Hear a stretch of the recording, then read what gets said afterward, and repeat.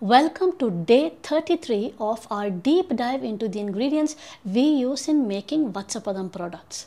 Today's energizer is rosemary essential oil used in both our body butters and hair oils and for good reason.